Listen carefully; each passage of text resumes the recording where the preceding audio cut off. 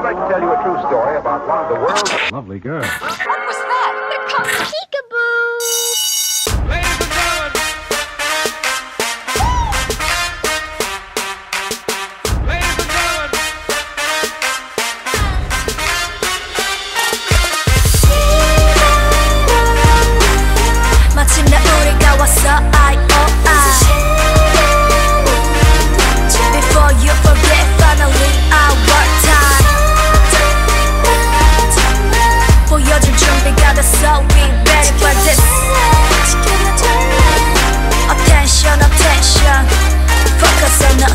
I'm not